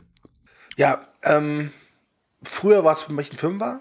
Äh, jetzt mittlerweile ist es nur noch 4,5, aber ich finde den immer noch bockstark. Hat was melancholisch Schwägerisches und ein einfach sehr, sehr, sehr schöner Film. Und es ist gleichsam schön wie traurig, dass ihn so wenig Leute kennen. Ja, dem werde ich Abhilfe verschaffen, weil ich musste ihm jetzt mal besorgen und ein paar Leuten zeigen, weil mir hat der auch super viel Spaß gemacht. Ich würde ihm jetzt auch keine fünf geben, weil irgendwie so auch ab, ab da, wo sie sich dann trennen und so, ich weiß jetzt gar nicht, wie lange das dauert, irgendwie im letzten Drittel hat sich für mich ein, ein bisschen gezogen mal oder so. Aber eigentlich ist es auch, Wie ein Sportkommentator bist du. genau, da- im letzten Drittel hat er vielleicht ein paar Schwächen gehabt. Da hätte er mal richtig- passen müssen. Da hätte er nach hätte vorne den gehen freien müssen. Raum nutzen müssen. genau zum Abschluss schneller kommen können, aber trotzdem eine bockstarke Leistung vom Richard gemacht, super klasse. Super klasse. Ähm, Wir fragen mal den. Trainer Max Rauscher, was sagt, was sagen Genau. die Spiele von Ich gebe auch 4,5 von 5 Punkten. Obwohl meine Begeisterung vielleicht auch daher kam, dass das halt so ein unbekannter Film ist. Ich weiß nicht, wenn ich, ich muss ihn nochmal schauen, vielleicht wäre es dann weniger, vielleicht mehr, ich habe keine Ahnung. Aber ich gebe ihm jetzt mal viereinhalb, weil ich fand ihn super. Boah, ich Gebe würd- ab ins Studio. Ja, danke, danke schön. Hier ist der Rauscher. Ähm, ich gebe ihm vier. Warum gebe ich ihm keine 4,5 wie ihr? Das weiß ich nicht. weil du ein herzloser Bastard bist. Nee, weil mein, mein, meine Skala irgendwie, keine Ahnung, jetzt, die ist in diesem Jahr komplett kaputt gegangen. Also sagen wir es mal so, er hat mir, als ich ihn jetzt gesehen habe, bin danach da gesessen und habe gedacht, jawohl, schöner Film, meine Zeit gut genutzt. Das ist ja immer das Schönste, wenn man dann danach sagt, okay, die Zeit, die ich jetzt da investiert habe, habe ich mir in meinem kulturellen, äh, in meiner kulturellen Gehirnhälfte bei manchen Leuten ist das nur ein Viertel, bei mir sind es zwei Drittel. Ähm, aber immer was Gutes getan. Die waren alle, meine Neuronen waren alle durchaus begeistert. Es ist aber jetzt nicht so, dass ich denken würde, der, also ich bin sicher, da könnte noch mehr gehen. Aber da warten wir mal ab, was dann vielleicht noch so kommt. Ich habe den halben Punkt jetzt auch nochmal als Bonus für das Regiedebüt natürlich draufgelegt. Aber wie gesagt, ich muss den nochmal schauen. Die werde ich auch bald nochmal in, in größerer Runde, wenn das mal wieder möglich ist, verdammte Scheiße. Und dann schauen wir weiter. Aber vielen Dank, du, dass du mir diesen kleinen, schönen Film reingepackt hast. Ja, weißt du, nach dem äh, Crossover-Debakel hatte, war mir der Sinn nach etwas, was das Herz erwärmt. Ja. Hm. Mm, warmes Herz. Lecker. Ja, gut. Ähm, Submarine ist ja unterm Wasser. Ne? Aber auf dem Wasser ist man, wenn man von Indien nach Kanada fahren will, weil man sein Zoo verkauft hat. Und dann, bim bam, Bino, der Sturm kommt. Kurze Zwischenfrage. Ist Life of Pi vielleicht sowas wie das Prequel, Sequel, Spin-off zu Wir kaufen einen Zoo mit Damon? Ja, Wir verkaufen einen Zoo. das, dem gehen wir jetzt auf den Grund. Den habe ich leider zum Glück nicht gesehen, deswegen kann ich dir das nicht Das beantworten. ist ein ganz schlimmer Film. Den habe ich 15 Minuten gesehen. Ich war da in der Sneak Preview drin. Oh Gott. Wir kaufen einen Zoo mit Matt Damon. Ja, Das klingt- ist der nicht ja von so einem schrecklichen Regisseur? Cameron Crowe, der vorher sowas wie Almost Famous gemacht hat. Oh, Aber nach Almost Famous irgendwie nichts mehr gebacken bekommen. Ja, ja, hat, deswegen nenne ich ihn auch den schrecklichen Regisseur. Ja. Ja, ja, egal, aber Cameron Crowe, der weiß schon, wie ich es meine.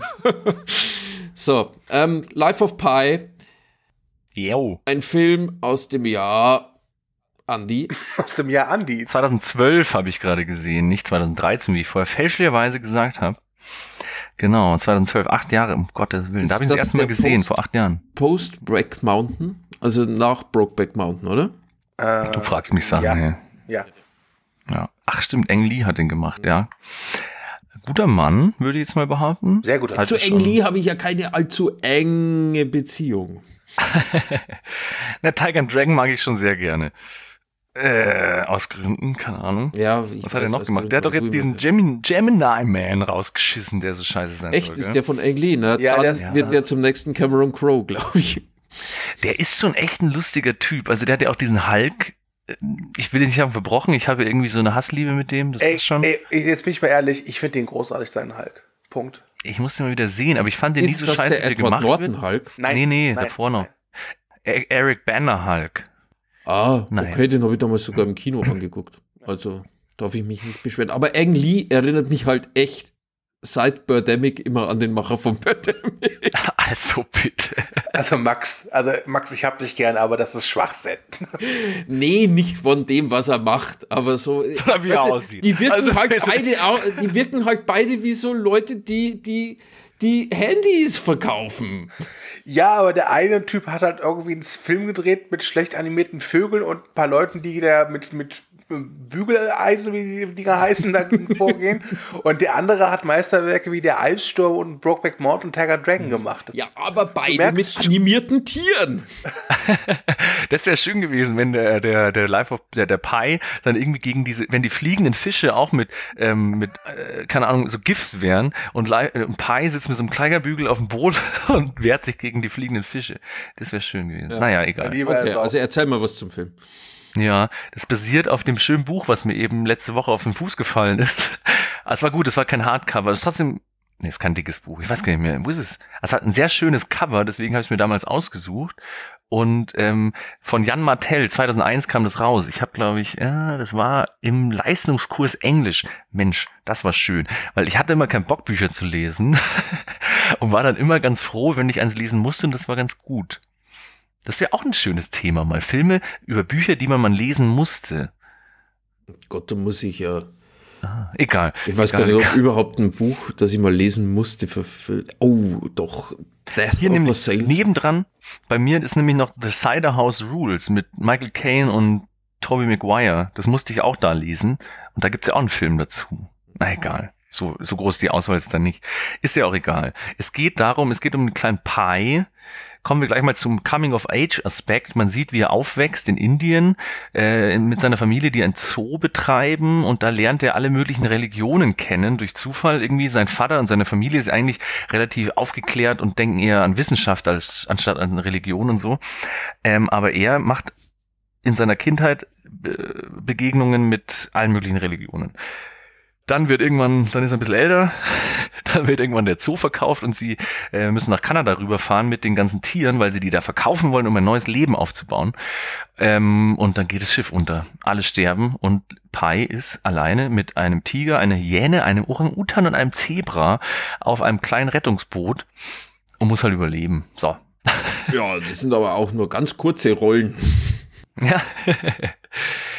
ja, genau. Und ähm, was kann man zu dem Film noch sagen? Es ist- war jetzt die Handlung, glaube ich, kann man sagen. Es wird halt auch sehr äh, äh, retrospektiv erzählt. Am Anfang sieht man, wie ein Journalist zu diesem äh, alten Pai hinkommt. Also der Pai ist mittlerweile erwachsen, erzählt die Geschichte rückblickend. Ähm, und das ist ein wichtiger Aspekt für dieses Films, was ich ganz spannend fand. Aber es gibt noch ganz viele andere Themen. Aber was immer, wenn irgendwie viele, viele Leute über den Film sprechen, was natürlich heraussticht, ist, äh, äh, deswegen habe ich ihn auch gerne wieder hier auf der Leinwand geschaut und ich glaube auch, dass man den nicht auf dem Laptop schauen braucht, weil die Themen, die in dem Film drin sind, die sind ein bisschen, kommen ein bisschen kurz im Gegensatz zum Buch. Dafür ist der Film aber trotzdem ein grandioses Abenteuerspektakel, kann man schon sagen. Es macht schon Spaß. Also wir, ich habe mir den Film hier mit einem Lockdown-konform nur einer Person angeschaut. Der kannte ihn noch nicht. Und ähm, Dachte mit deinem Tiger. mit einem, mit meinem Tiger, genau. Und das ballert schon rein. Also ab, ich glaube, die erste, also das Erwachsen, also das, die Kindheit des, äh, vom Pi, die dauert, glaube ich, nur eine halbe Stunde oder so. Kann das sein? 35 Minuten oder so. Dann sind sie auf dem Meer, dann geht das Schiff unter und ab da ist es schon echt. Also dieser Schiffsuntergang, ich habe hier mal richtig aufgedreht, die Anlage auf Leinwand, das ging schon ganz schön ab. Also da- das ist schon faszinierend, kann man schon sagen. Also ich mag bei dem Film jetzt beim zweiten Mal gucken immer noch die. Ich habe immer noch die gleiche Meinung wie beim ersten Mal gucken. Ich kann mich an meine erste Meinung nicht mehr so genau erinnern, deswegen fand ich es spannend, den jetzt nochmal zu schauen. Ich fand den, oder da komme ich jetzt eigentlich schon meiner Meinung halt, komme ich gleich mal raus, ne? Ähm, am Anfang ist er so ein bisschen gediegen. Also ich finde so diese Geschichte in, in Indien ein bisschen, keine Ahnung. Ja, Er lässt sich man- kann Zeit, mal- Er lässt sich Zeit und ich finde ihn auch nicht sonderlich interessant irgendwie die Sachen, die er da so zu erzählen hat, ja, ab und an, die eine oder andere Geschichte passt schon. Dann kommt dieses, die Schiffsfahrt und das Schiff geht unter und ich sitze da und denke mir, oh, das ist so gut, so geil. Und dann, wenn praktisch der Sturm aufhört und er auf diesem Schiff Ding, dann finde ich ihn einfach nur noch langweilig. So ist für mich Life of Pi das erste Mal gewesen und so war bei mir jetzt auch das zweite Mal. Also bei mir hat sich nach der, Drittsichtung jetzt auch nicht viel geändert. Ich fand den Anfang ganz schön erzählt, aber nimmt sich echt zu viel Zeit. Der Untergang, äh, Andi, schaffst du es langsam mal eine Kippe anzuzünden? Das ist schlimm. Ich werde es, ich werde es muten, keine Angst, aber irgendwie sind alle meine Feuerzeuge gerade leer. So eine Scheiße, ey. Aber lass dich nicht ablenken, wie gesagt, ich mute meine Spur, das passt schon. Okay. Ich werde es noch mal eine Zeit lang versuchen. ähm, der Untergang ist Bombast pur und danach, finde ich, wird er zum absoluten Märchen mit unglaublich schönen Szenen, die mich so wirklich gefangen nehmen und am Ende kommt halt so die Moral von der Geschichte. Äh, ich, das heißt, ich finde ihn wahrscheinlich wesentlich besser als du, Max. Ich verbinde mit dem Film aber auch einen. Äh, ich hatte mal wegen dem Film eine sehr lange Diskussion. Das weiß ich noch. Mit Gott. Nein, mit zwei Freunden. Ich habe den, äh, mit denen den Film geguckt. Und die haben sich halt tierisch darüber aufgeregt, warum muss man jetzt zeigen, dass die Hyäne das, das, den Pavian oder den Schimpansen, was immer das für ein Tier ist, tötet oder so. Wo ich dann auch dachte, ey Leute, ganz ehrlich, ihr habt gerade gesehen, wie dieser Ozeandampfer untergeht, wo wahrscheinlich jetzt 500 Leichen jetzt äh, auf dem Meer rumliegen. Das ist euch egal. Aber wenn irgendwie ein Tier verreckt, dann, dann kriegt er einen Affen. Das ist halt Affenkrieg. Naja. Okay, dies, diesen Einwand verstehe ich auch nicht, Stus Freunde. nicht. Das, Fand- Ich, ich erinnere mich noch dran, dass ich das erste Mal, weil ich habe das Buch gelesen und ich meine, im Buch siehst du ja nix, muss ja alles vorstellen. Und dann wurde am Schluss, ich glaube, das ist- sind noch mehrere Kapitel, wo er die Geschichte nochmal neu erzählt in dieser anderen Variante, dass der Schiffskoch alle umgebracht hat und Leute gegessen hat und so. Also diese wirklich schlimme Variante, die stellst du dir natürlich, wenn du es liest, genauso äh, bildlich vor wie den Rest. Und ich weiß noch, beim ersten Mal fand ich es, was heißt schade, natürlich muss ich das jetzt nicht auf den letzten, dann wird der Film drei Stunden dauern, aber trotzdem äh, war ich da ein bisschen enttäuscht, dass man ihn so lange sieht, wie er diese Story erzählt, dass man das nicht nochmal ähm, in Bildern sieht natürlich. Und das hatte ich auch nicht mehr auf dem Schirm. Und ich finde, da kommt eine der, der gleichzeitig schönsten Sätze und andererseits auch wieder beschissensten Sätze, weil äh, wo er dann sagt so von wegen, ja die zweite Geschichte, die wollten sie dann hören, die haben sie gekauft, waren total schockiert und dann sagt er noch dem anderen Typen, ja welche magst du jetzt eher, so ungefähr. Also wenn man das will, geht's ja auch so ein bisschen um Geschichten erzählen, weil vielleicht war es ja so, dass einfach alle draufgegangen sind und der ist allein der auf dem Boot gefahren, aber er hat sich halt eine schöne Geschichte, er ist so ein bisschen fantasievoll halt so die Message, keine Ahnung was. Aber was ich immer nicht mag, was ich am Anfang eigentlich ganz cool fand, wo er die Religionen kennenlernt und eigentlich ähm, so die Message ja auch ein bisschen ist, so, naja, man, man muss jetzt nicht, was ja auch schon oft öfter kritisiert wurde von unserem Spätzle, den Wolfgang Schmidt zum Beispiel, der hat jetzt auch schon irgendwie den Film irgendwie vorgeworfen, dass das so eine scheiß Message ist, dass man sich wie in der heutigen Zeit aus allem das Beste raussuchen kann. Finde ich überhaupt nicht. Wenn es um Religion geht, finde ich schon, könnte man ähm, hinterfragen, ob man so streng an eine glauben muss oder ob man nicht ein bisschen offener sein soll. Finde ich gar keine schlechte Message, ehrlich gesagt. Äh, aber am Schluss, wo er dann sagt, ja, willst du jetzt eher, welche willst du eher glauben? Und dann sagt er, ja, ich nehme die schönere oder das ist, gefällt mir besser. Und dann so, ja, genauso ist es mit Gott. Also irgendwie, ich fand das eigentlich nicht religionskritisch, aber so ein bisschen eine relativ offene äh, Verhandlung mit diesem ganzen Thema und so. Aber am Schluss war mir dann doch zu äh, religiös dann irgendwie, mit diesem Satz auch noch und so. Das mochte ich. ich war, die, die, ja, bitte du. Also ich muss sagen, äh, diese, ich bin jetzt kein religiöser Mensch, deswegen war mir diese ganze Frage von welcher Religion ist besser, was ist wo, ehrlich gesagt vollkommen egal. Ich habe mich nur in diesem Rausch verloren der, der Bilder. Und ich weiß noch, als ich das erste Mal geguckt habe auf Blu-ray, dachte ich mir, verdammt, warum habe ich die nicht im Kino geguckt? Hm. Im Kino war auch das 3D ziemlich fetzig. Also ich meine, 3D ist ja meistens relativ für den Arsch, glaube ich. Also mittlerweile schaue ich mir auch keinen Film mehr auf 3D an, weil Es gibt das ja ist ja nur mehr. noch Geldmacherei. Ja, das auch, aber bei jedem Marvel-Film oder so, weiß gar nicht, kommen die auf 3D raus? Das ist ja völlig egal. Ich glaube, bei Avatar war ich noch im Kino und dachte mir über diese eine Szene, wo sie in diesem Aufwachraum aufstehen oder bei, bei, bei Megamind oder so. Da gab es einzelne Szenen, wo ich dachte, hey, das ist ja richtig geil, das flasht mich jetzt hier. Und Life of Pi war eben auch einer von denen, dass ich mir mal dachte, geil, da bringt das 3D auch was. Da sitzt du wirklich im Kino, wo er zum Beispiel unter Wasser sitzt, äh, sitzt, unter Wasser schwebt mehr oder weniger und du siehst im Hintergrund das Boot untergehen. Das war einfach super krass, hey. Also da waren, das war wirklich gut eingesetzt. Aber ich weiß schon, also ich glaube auch, dass jeder, der den Film schaut, vielleicht auch, wenn man das Buch nicht gelesen hat, dass man sich dann auf diesen Abenteueraspekt so konzentriert, weil das später relativ fallen gelassen wird irgendwie. Also, Äh, Seine also Lehren vom Anfang ich finde, es ist schon sehr deutlich, dass da schon was hintersteckt, weil er, es passieren ja auch nachher Sachen. Ich meine, der Film ist jetzt zu Beginn wirklich in der Realität verankert. Und nach diesem Schiffbruch passieren ja immer mehr Sachen, die, also spätestens bei der, also schon davor, aber die fleischfressende Insel zum Beispiel. Ne? Also es ist halt ein Märchen. Ja, ja, schon. Das finde ich nämlich ganz spannend, dass du dann da, ab da finde ich auch schon das mit dem, und das finde ich, ich glaube, ich hatte damals auch das Gefühl bei dem Film, dass ich es geil fand, dass der Film teilweise so, das ist ja schon unrealistisch, wenn du zum Beispiel, wie das aussieht, wo er auf dem Wasser da gleitet und diese Spiegelungen oder so. Oder zum Beispiel auch nachts dieser Wal, wie das alles so leuchtet. Ich meine, da gibt's diese komischen Sch- Leuchteplankton-Sachen bestimmt irgendwo, keine Ahnung. Aber das sieht nicht so aus, würde ich jetzt mal behaupten. Es ist schon sehr traumhaft irgendwie.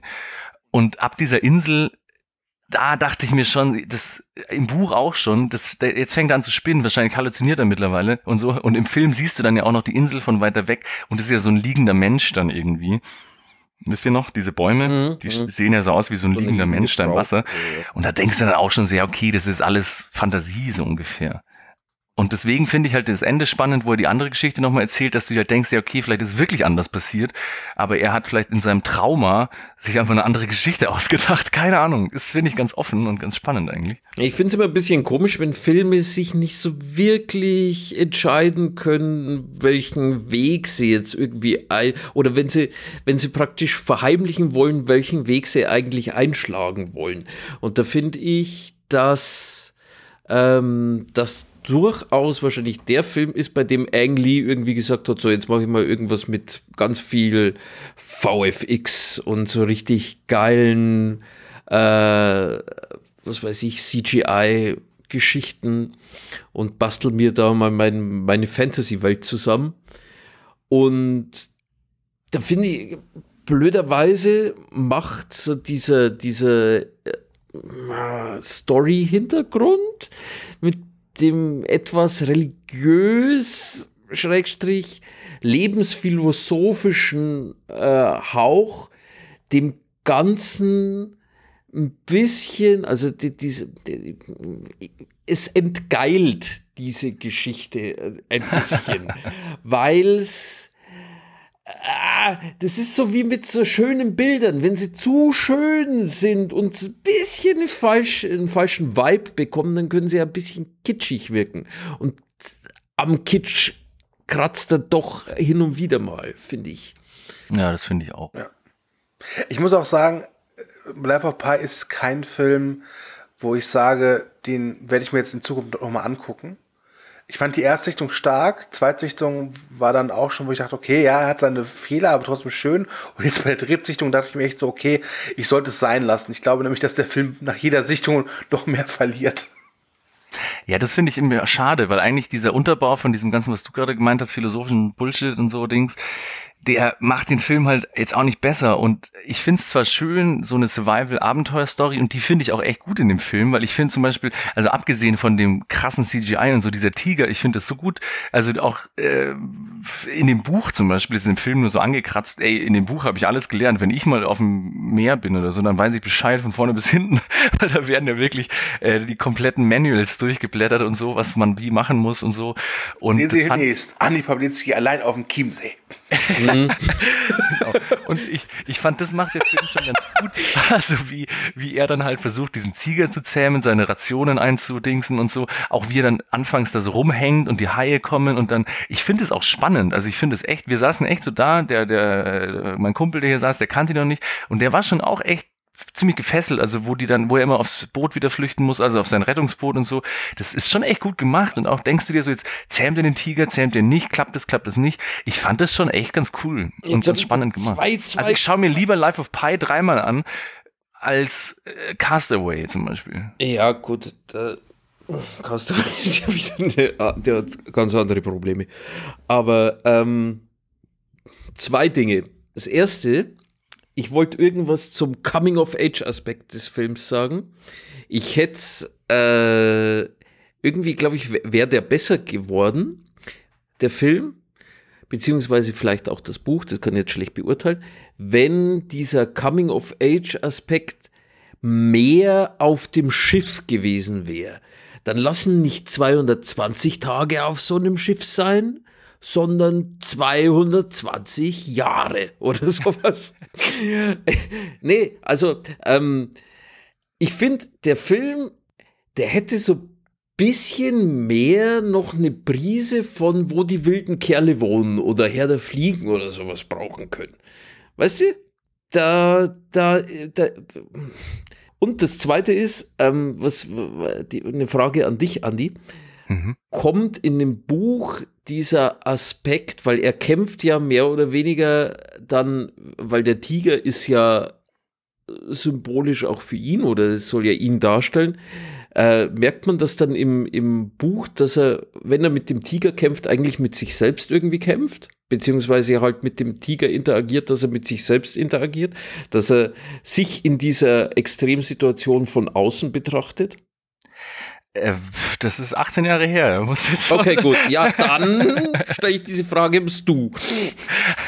ja, das ist auf jeden Fall so. Also, äh, ja, äh, ich weiß gar nicht genau, ob, weil diese, diese äh, Analyse, die dieser komische Reporter dann am Schluss anstellt, ist ja auch die Frage, ob die dann stimmt. Hm. Aber, hm, ne, gute Frage, weiß ich gar nicht mehr genau. Ich weiß gar nicht, von was sie ausgehen soll, ob das stimmt oder nicht stimmt.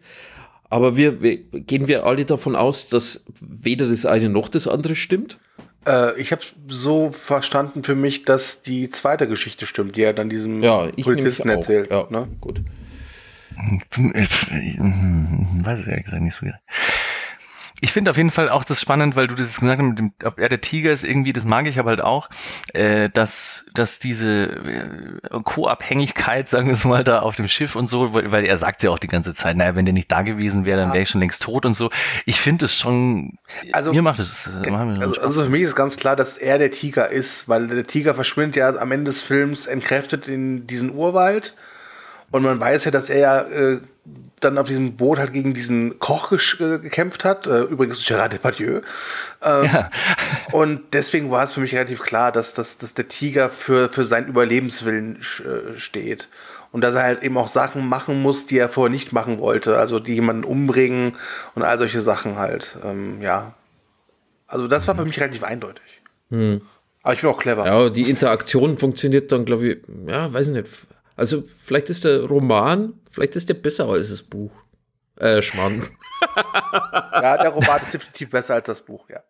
Ja, ich habe nur noch im Kopf, also wie gesagt, das ist echt schon tausend Jahre her.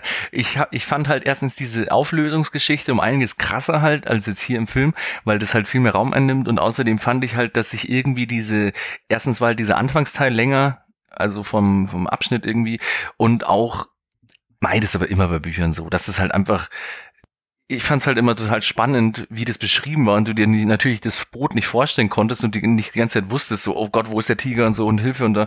Ich dachte auch, das Bo- Boot wäre viel größer, ehrlich gesagt, weil du immer denkst, hey, wie kann das denn jetzt funktionieren hier gerade und so. Aber ich fand, das hat der Film echt saugut gemacht. Also ich weiß noch, dass ich aus dem Film rauskam und dachte so, hey, das war ja richtig geil. Also jetzt was, äh, was das Buch mir da so vorgegeben hat, äh, wie sie dieses Abenteuer da umgesetzt haben, fand ich Hammer. Ich fand nur, dass sich diese Themen äh, die den jetzt auch ein bisschen abheben, vielleicht von sowas wie pff, anderen Survival-Stories und was auch eigentlich den Coming-of-Age-Charakter so ein bisschen ausmacht, dass du halt äh, Lehren, die er anfangs noch gelernt hat, ihm dann auch weiterhelfen, über das durchzustehen und so. Irgendwie fand ich das im Buch ein bisschen schlüssiger. Ich meine, er sagt jetzt hier auch öfter mal, äh, hier, danke Vishnu für den Film, äh, für den Film, für den Fisch oder so. Aber es ist schon sehr zurückgedrängt dann. Das ganze Anfangsthema ist ja dann in der Mitte des Films gar nicht so richtig vorhanden irgendwie. An ein Buch hatte ich das Gefühl, als wäre das so ein, als würde sich so durchziehen, wie so ein roter Faden. Hm. Ah, naja. Ja. Der Film ist schon ein bisschen zerhackt. Also ich kann das dann auch verstehen, äh, wenn man sich die erste halbe Stunde bisschen langweilt, wie gesagt. Ich fand's ganz spannend. Ich fand's auch irgendwie immer äh, unterhaltsam gemacht. Ich fand's jetzt nicht langweilig, aber wenn man jetzt natürlich reingeht, den Trailer gesehen hat, so, ey, wann ist der Typ auf seinem Boot mit dem Tiger endlich mal? Kann ich mir schon vorstellen, dass man erst denkt, was wollen die mit dem Religionsquatsch jetzt? Aber das ist ja eigentlich das Hauptthema des Films ist, oder des Buches meine ich jetzt, ähm, kommt in dem Film dann, kommt jetzt dann doch eher als Abenteuer-Survival-Film rüber, als religiöser Coming-of-Age-Film. Keine Ahnung. Obwohl in dem Buch natürlich auch dieses äh, Survival-Ding den Hauptteil äh, einnimmt, aber da wird es halt noch verwoben mit diesen ganzen Themen so ein bisschen besser, habe ich das Gefühl gehabt, glaube ich. Hm. Naja, Ja. Machen wir mal ein Fazit. yes. Nee, aber ich muss sagen, also ich mache das mal als erster. Ich fand den Film immer noch sehr spaßig. Wie gesagt, ich würde mir den nie auf einem Laptop oder auch auf einem kleinen Fernseher oder so anschauen. Ähm, so spannend ich einzelne Aspekte finde, jetzt am Anfang auch mit den verschiedenen Religionen. Der Film ist dafür viel zu glatt gebügelt, dass jetzt da dass es groß kritisch wäre oder so. Der Film gar nichts kritisch. Ich meine, am Schluss sagt er noch so, oh Gott ist geil, mehr oder weniger. Deswegen, ähm, keine Ahnung, da konnte ich noch so atheistisch analysieren, wie ich wollte, hat nicht geklappt. Der Film ist dann doch ein bisschen esoterisch und religiös, aber trotzdem dieser ähm, Abenteuer-Aspekt in der Mitte, der gefällt mir auch super gut. Und ich gebe dem 3,2 Punkte. Aber wie gesagt, laut und groß muss es sein, dass der Mittelteil Spaß macht. Hm. Ähm, ich gebe 3,5. Ich finde, dass es immer noch ein sehr schöner Film ist. Ein sehr lauter Film, ja, sehr, ein sehr visueller Film. Ähm, ich hatte da jetzt auch mit der Drittsichtung meinen Spaß, aber wie ich schon sagte, ich habe jetzt nicht vor, den allzu bald wiederzusehen, weil er hat schon von Sichtung zu Sichtung verliert er mehr, aber trotz allem bin ich mit dem Film sehr zufrieden. Hm.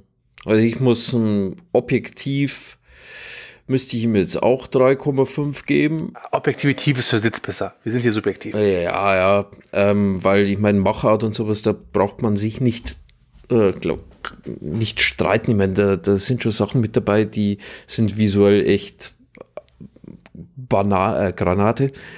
Banner. Ähm, Ah, das wollte ich noch dazu sagen. Ja, Äh, bitte. Der, der Eng Lee, der hat ja ähm, jetzt auch nicht äh, sich selber auf das Projekt gesetzt und hat gemeint, ich mache jetzt hier einen Effekt-Blockbuster geil und so, sondern er wurde gefragt, das zu machen. Und irgendwie in Interviews, wenn man es auch sieht, ist er ein besche- bescheidener Typ und so. Und ähm, das wirkt schon eher so, als hätte er da so ja, Pionierarbeit geleistet, aber wäre natürlich auch selber ein bisschen überrascht gewesen, wie geil das funktioniert so ungefähr.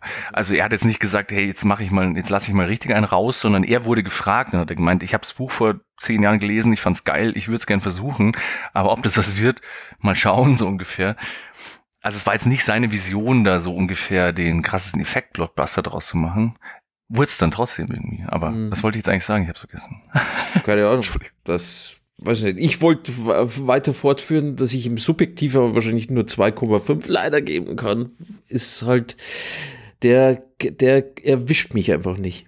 Der kriegt mich nicht. Da bin ich dann wie so ein Fisch und glitsch dem dann immer wieder raus. Du gottloser Bayer. Ja. Ich kann das aber voll verstehen, weil ich muss auch sagen, ich glaube auch, dass der bei mir immer mehr verlieren würde, weil jetzt auch eben diese Themen dann nicht mehr den Film anheben, sondern eher so Beiwerk sind. Und diese Survival-Story in der Mitte, wie gesagt, die macht schon Spaß, wenn es einem Spaß macht irgendwie, aber Die macht die, Survival is fun. Mit Andy Papilitzki. Es macht Spaß, wenn es Spaß macht. Ja. Außerdem müssen wir noch den, den Hauptdarsteller ähm, sein Schauspieldebüt, also das hat er schon gut gemacht, der kleine Burschi. Das war ganz lustig, weil den haben sie dann auch isoliert am Schluss von den Dreharbeiten, dass er halt auch so ein bisschen verloddert und so und dann irgendwie äh, war das schon so halb Method Acting, obwohl der noch nie einen Film davor gemacht hat. Also ich habe da so ein paar Interviews gesehen, ich fand Die das echt gesagt, das ist einfach die Realität. Ja, Du der war dann halt, hier auf. der war halt dann echt einfach der Einzige da die ganze Zeit und musste die ganze Zeit mit irgendwelchen Tennisbällen rumwerkeln und so, weil diese Viecher natürlich alle animiert sind, aber da war kein Schauspieler mehr da und deswegen hat ihm dann Eng Lee mit einem Megafon anscheinend von 500 Meter Entfernung auf seinen Wassertank zugerufen, irgendwelche Sachen und der war dann die ganze Zeit nur noch alleine. Also ist ey, schon beeindruckend, finde ich. Außerdem mochte ich es, wenn das Bildformat immer gewechselt hat. Es wurde doch immer schmaler, wenn zum Beispiel Nacht war so, dass es so ein bisschen höher aussieht und zum Beispiel, wo diese fliegenden Fische rumkommen, dann wird so Breitformat und die Fische fliegen dann über den Frame raus und so. Das fand ich sogar in nicht 3D, ist es ein guter Effekt gewesen. Eigentlich, das ist schon schön. Kleine Kleinigkeiten. Was auch ein schöner Effekt ist, bei jedem Ende einer Horst-Folge ist, wenn das nächste Thema enthüllt wird. Oh Gott. Und äh, Max ist dran. Äh, ihr wolltet wissen, was ich mir eigentlich ausgesucht hätte, oder? Ja. Bis ich dann aus Versehen wieder auf den Google Randomizer drückte und merkte, das Thema, das er mir vorschlägt, ist viel cooler. Und zwar wollte ich eigentlich, jetzt muss ich, ich, ich schreibe nämlich immer nur die, die, äh, die Nummern auf, die muss ich dann suchen. Bis Ah, die dahin. künstliche Intelligenz ist uns einfach schon überlegen, gell? Ja. Und zwar genau ist es, ähm, hätte ich ausgesucht, Nummer 399, Plastic as Hell. Filme, die so perfekt aussehen, dass sie schon wieder scheiße aussehen. Aber, Life of Pi. aber dann hat mir der Google Randomizer folgendes vorgeschlagen. Und das werde ich jetzt nehmen. Fanfare. Wir nehmen zum nächsten Mal. Tine Wittler freut es. Doppelpunkt. Filme mit außerordentlichem Möbelstil. Oh Gott.